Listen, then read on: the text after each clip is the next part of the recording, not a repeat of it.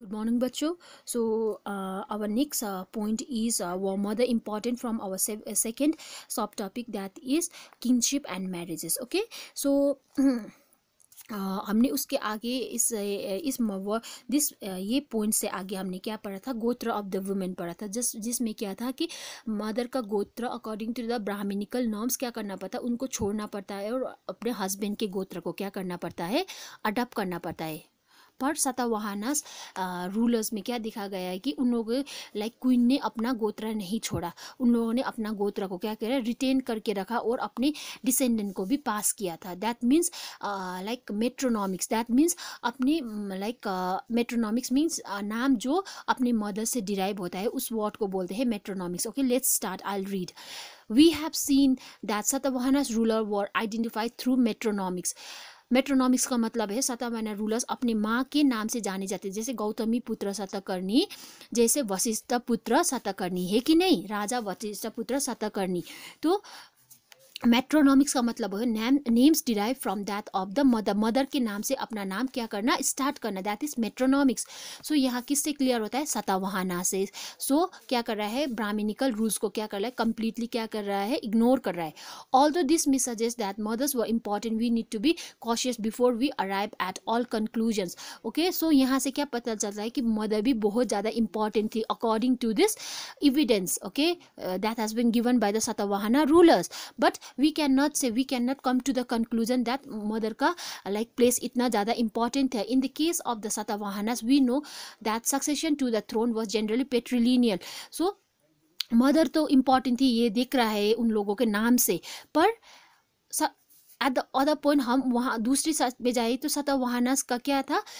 They are following the patrilineal form of succession जैसे father grandfather to son son to grandson है कि नहीं? तो दैट मीन्स वहाँ पे कोई क्लियर क्लियर कॉन्सेप्ट नहीं आ रहा है कि whether the the the like, rulers definitely followed the practice that was prescribed in the dharma shastra or they are denying okay at the same according to the dharma shastra kya hai like uh, वो succession कैसा होना चाहिए patrilineal that means father to son son to grandson in वो क्या कर सतवानस वो भी follow कर रहे इससे पता चलता है कि वो लोग धर्मशास्त्र को भी डिनाई नहीं कर रहे। At the same time mothers लोग क्या बच्चे लोग क्या करें? अपना मदर्स का टाइटल गोत्र क्या करें? अडॉप्ट करके अपने नाम में डाल रहे मेट्रोनॉमिक से उन लोगों का। है कि नहीं? तो वहाँ से क्या, उन लोग एट द सेम टाइम धर्मशास्त्र को क्या कर इग्नोर कर रहे तो आप लोग ही समझ सकते हो कि वो like there was a like हम टिपिकल कंक्लूजन में नहीं आ सकते कि धर्मशास्त्र सोसाइटी लाइक पर्टिकुलरली फॉलो करते हैं या नहीं फॉर एग्ज़ाम्पल हम लोग एक सोर्स को पढ़ेंगे ठीक है i'll read source 5 okay so mother uh, were mother important or not so a mother advice the mahabharata describe how when war between the Kauravas and the Pandavas became almost inevitable. Gandhari made one last appeal to her eldest son Duryodhana. So so, ये महाभारत से एक छोटा सा part निकाल के क्या किया है डिस्क्राइब किया है कि कौरवस और पांडवस के बीच में जो झगड़ा हो रहा है वो कितना बड़ा होके चला गया था ठीक है सो गांधारी क्या था धृतराष्ट्र की पत्नी थी ठीक है और कौरवस की क्या थी कौरवस की मदर थी ठीक है? तो उन्होंने क्या किया धृतराष्ट्र को दुर्योधन जो कौरवस के एल्डेस्ट क्या थे? लाइक ब्रदर थे ठीक है ना? सबसे बड़ा दुर्योधन उनको क्या किया अपील किया। किसने किया? गा, लाइक गांधारी। ठीक है? तो by making peace you honour your father and me as well as you your well wisher तो गांधारी ने दुर्योधन को बोला कि तुम क्या कर रहे हो कि तुम झगड़ा नहीं करके पीस करोगे तो तुम अपने फादर और मदर को रेस्पेक्ट कर रहे हो एज वेल एज तुम्हारे जो शुभचिंतक है उसको भी क्या करे खुश कर रहे हो। तुम वॉर मत करो, ये अच्छी बात नहीं अकॉर्डिंग टू द गांधारी ठीक है? It is the wise man in control of his senses who guards his kingdom so वो ज्ञानी आदमी होता है लाइक जो वॉर में बिलीव नहीं करता, जो झगड़ा में बिलीव नहीं करता, जो पीस में क्या कहते हैं बिलीव करता है। जो अपना इस लाइक अग्रेसिव नेचर को जो कंट्रोल कर सकता है, वो ही क्या हो सकता है, उसके किंगडम को, उसके सिंहासन को क्या कर सकता है कंट्रोल कर सकता है। According to whom according to Gandhari किसको बोल रहा है? दुर्योधन को बोल रहा है। Greed and anger drag a man away from his profit so लालच और गुस्सा क्या करता है? इंसान को क्या करता है? अच्छी अच्छाई से क्या करता है? दूर ले जाता है, ठीक है? According to whom Gandhari. By defeating this two enemies a king conquers the earth so इसी लालच और गुस्से को क्या करना है? अब कंट्रोल जो कर सकता है, जो राजा वो दुनिया को क्या कर सकता है, जीत सकता है।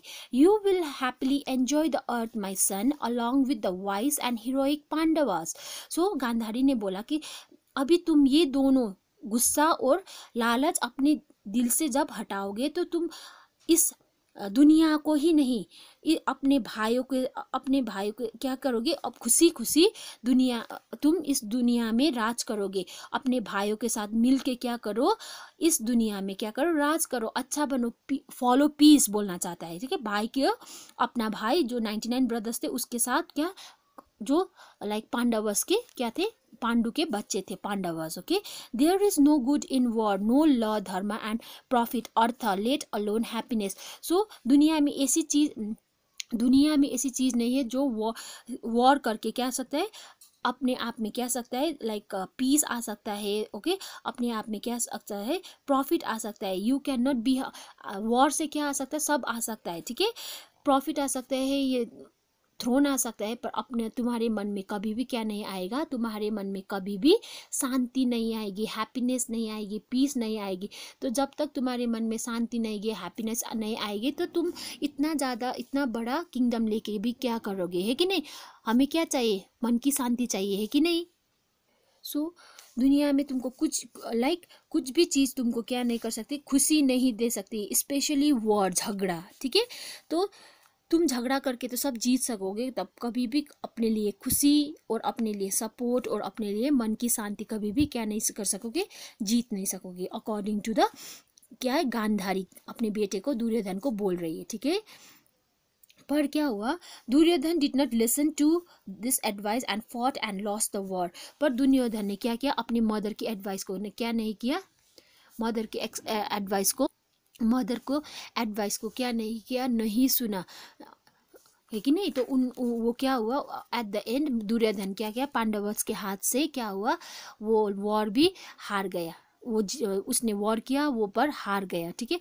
और पांडवा क्या हुआ? विथ फ्लाइंग कलर्स वो लोग जीत गए, है कि नहीं? तो आप लोग भी यहाँ से गेस्ट कर सकते हो कि लाइक मदर के एडवाइस को लाइक नहीं सुना। That means though like Duryodhan और like Kauravas they don't take their mothers very seriously है कि नहीं? उन सो एक तरह से सतावाहना जो अपने मदर का नाम, अपने नाम से जोड़ रहे, महाभारत पे आएँगे तो वहाँ पे दूसरा ही सिनेरियो है कि नहीं? तो मदर्स के एडवाइस को उन लोगों ने दुर्योधन ने नहीं सुना सो इग्नोर किया, है कि नहीं? तो उन लोगों के लिए मदर का एडवाइस इंपॉर्टेंट नहीं था। पर जब मदर का एडवाइस नहीं सुना तो दुर्योधन को क्या फेस करना पड़ा? उसको फेस करना पड़ा लॉस फेस करना पड़ा, उसको बहुत ज़्यादा ह्यूमिलेशन फेस करना पड़ा पढ़ना पड़ा या नहीं? तो इसीलिए महाभारत क्या भी बोलना चाहता है कि मदर के एडवाइस को हमेशा सुनना चाहिए कि नहीं? वो कभी भी गलत नहीं हो सकती और वो कभी भी बुरा नहीं चाहेगी। तो वहाँ पे दो कंक्लूज़न आ रहा है कि एक बच्चों अपने लाइक माता पिता की बात नहीं सुनते है कि नहीं? और एक तरफ़ जो माता पिता की बात नहीं सुनते वो उसको हमेशा क्या निराशा ही हाथ लगेगी okay so this was the like last point from our second sub topic that is kinship and marriages okay? So uh, this is uh, for today. So i hope you have understood uh, what i'm going what i have told you. If you have any confusion do ask me. And thank you very much and have a nice day